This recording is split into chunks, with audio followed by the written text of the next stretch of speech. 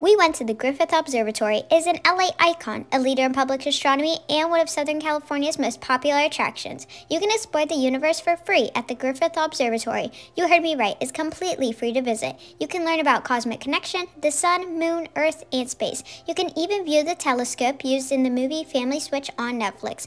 You also can see amazing views of the city and the world famous Hollywood sign. There is also a cafe and gift shop. We had so much fun exploring the Griffith Observatory and we can't wait to go back. That's your entertainment in a minute.